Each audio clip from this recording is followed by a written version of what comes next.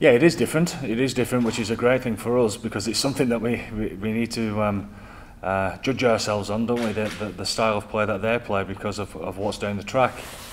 Um, I think they're obviously a world-class side. The, um, they 100% play to the strengths, and you know, um, I think that's what rugby's all about, isn't it? Um, finding out what your strength is and applying it, and uh, and they do it better than most. Obviously, the World Cup is a year away, and anything can happen between now and then. But can you just talk to us a little bit about the psychological boost it would give to this team to beat the world champions? Yeah, or not. You know, I suppose that the lessons learned are going to be um, are going to be vast for, for, for both sides. You know, win or lose, I suppose. The team that loses will learn learn a, a little bit more. I would have thought, and uh, know which direction that they want to go, not just game plan wise, but personnel wise, etc. So that's why I think this is priceless for, for both teams. It's a, it's a, it's a great matchup, and uh, yeah, it's exciting because of what's down the track. But for the here and now, well, it's um, it's pretty good as well.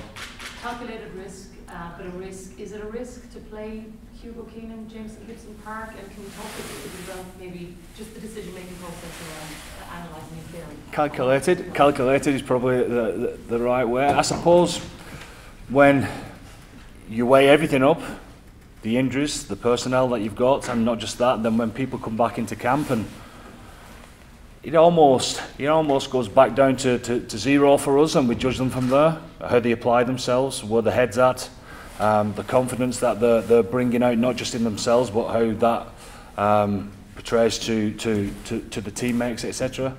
And each individual in that regard is, is completely different, and that's what makes the world go round, isn't it? So um, when you're talking about somebody uh, like Hugo, you know, I don't know, we, we could talk all day about him really, but he's the fittest in the team. We'll start there. He's probably the most diligent in the team as well as far as his work and the confidence that that gives, not just getting across his own work, but um, everyone else's work and the confidence that he brings to, to the group in that regard. You know, some people can hit the ground running and be very good. Uh, some people takes three or four weeks to, to, to be able to do that, and we believe that Hugo's in a in a good space to be able to perform on Saturday.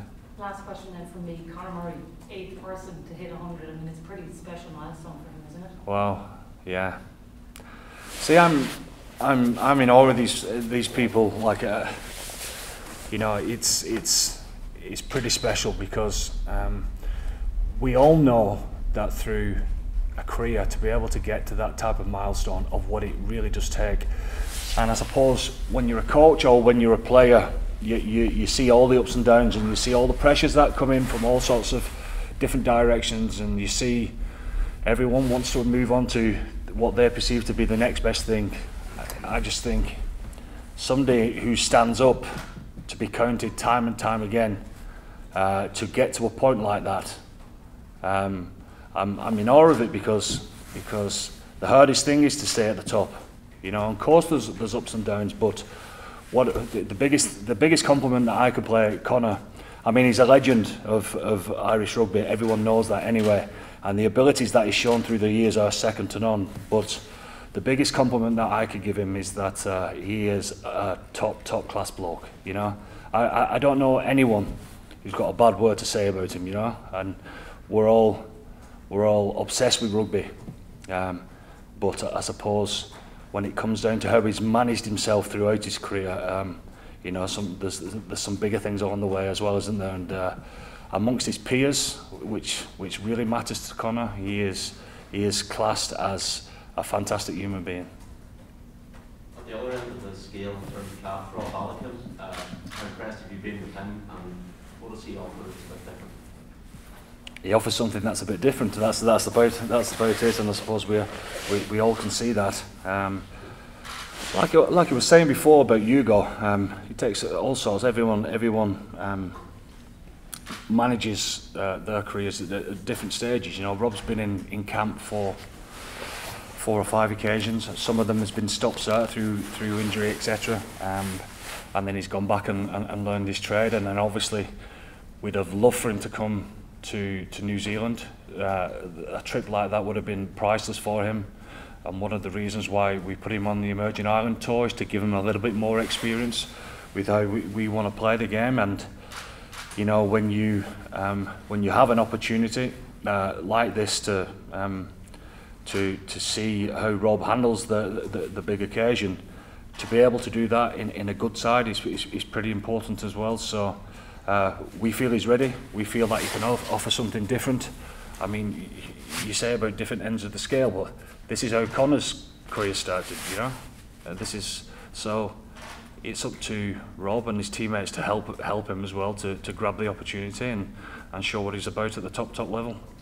A number of years ago, in South Tom Verdi was definitely unknown for the players. The fact that the United Rugby Championship something running now, does that change the dynamic a bit? Uh, I suppose there's there's there's more know-how of, of, of what's coming. Um, but I suppose of, of what we've come up against in the URC so far, none of these players have been playing anywhere, so we all know that international level is is a big step up.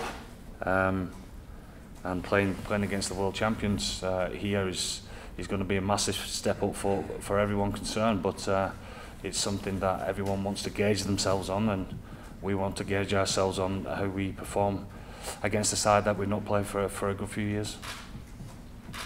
And you just on Rob Baloucoune, so does that show, I suppose, the success of the Emerging Ireland Tour and maybe if that didn't happen, was Rob going to be in the first team for Saturday?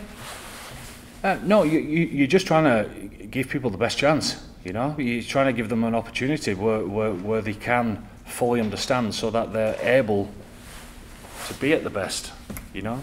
Um, and that's not to say everything's going to go, go fine on Saturday, you know, because international rugby it takes it takes every single moment that you have to deal with in, in front of your face uh, time and time again. So that's that's not to say that um, things are going to be perfect for him, but um, helping him along his journey to get to this point is is is a must.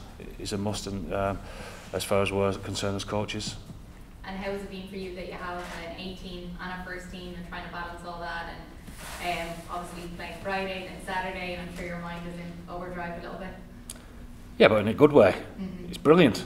Um, I love it. I, I love the fact. I mean, I, I love coaching. I love rugby. I love the players. I love the environment. Um, so, so there's nothing better than having 50 lads that uh, uh, not just galvanising together and, and wanting each other to do so well, but, but, but competing, like I've said all week, you know, competing to show each other. So, so the responsibility on Friday night is, is, is for those young lads, not just to perform, but to, to show the rest of the group that what they've learned and uh, what they've picked up during the week and, you know, uh, that they're able to apply it under pressure. And I've no doubt lads, lads uh, going to the ground or whether they stay at the hotel, it's up, it's up, it's up to them uh, what they do the, the, the night before the game. I'm sure that's going to inspire them as well. It certainly would me. You know, sat there before a game watching your teammates who you've trained with all week. Um, that would certainly inspire me to, to want to put the boots on on Saturday morning. Brilliant, Andy, um, despite Conor's longevity, he's obviously lost the starting jersey over the last year. What does he need to do now to, to reclaim that uh, on a permanent basis looking towards the World Cup? Like everyone else, like I've just said about Rob, um, take his chance. He's he's um, he's, a, he's a tough old character, uh, Conor. You know, he's he's he's, he's steely strong uh, mentally, and uh, he cares a lot about his own game. Um, and uh, he gets a chance now. He gets a chance now to to show us how how he wants to push forward. If you could just sort of summarise that battle between Jamison and Conor, how, how do you see it tomorrow? Well, it's a battle. It's, it's, it's a respectful, um, competitive uh, battle that Conor has been an unbelievable uh, um, uh, ear for for um, for Jamison throughout because of his experience, you know.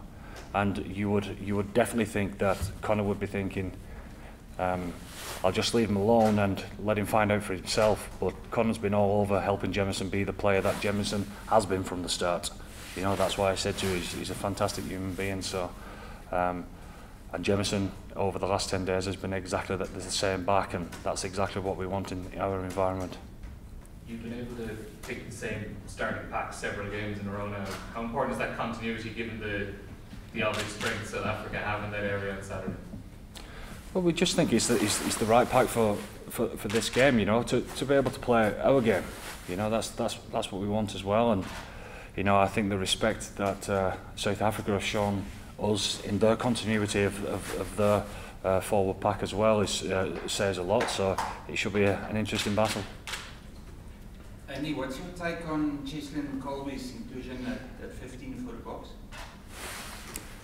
It's great. I'm uh, a big, a big fan of getting the best players out there on the field and and uh, trying a few things along the way when there's stability in, in, in, in certain other areas where you can really try and um, give somebody uh, like Kolbe the um, chance to, to be himself, you know. So he offers obviously a different threat.